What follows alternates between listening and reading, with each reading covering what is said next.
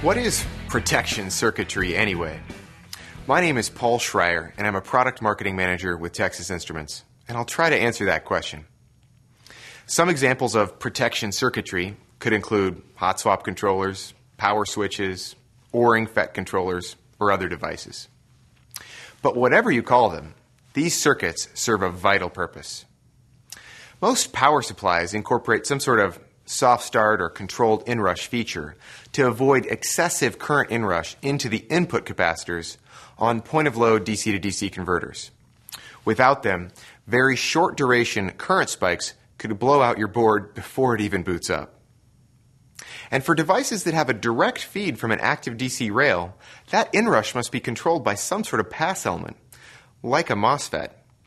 Simple examples include the 5 volt rail provided on a USB port, which is why most USB hosts include some sort of control switch to implement soft start and prevent short circuits.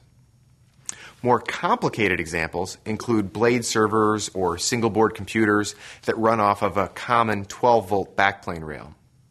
For each device that can be inserted or removed from the live 12 volt backplane, a pass element, like a MOSFET, has to be controlled to safely conduct power at startup to prevent damage of that specific client side device and prevent a voltage droop across the entire backplane, which could cause every other device drawing power at the same time to reset.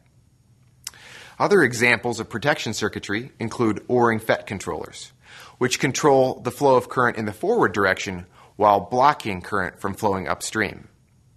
Together, these FETs and their control ICs are ideal replacements for traditional diodes, but have advantages including dramatically lower power dissipation, status reporting, digital control capabilities, and over voltage, under voltage thresholds.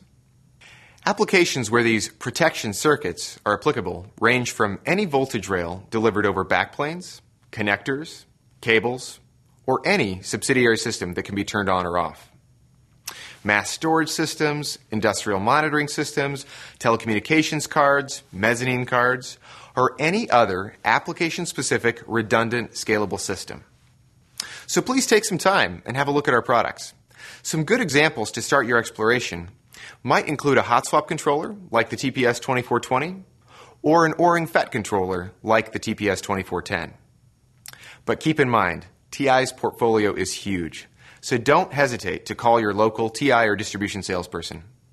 Thanks for stopping by to learn a little about protection circuitry.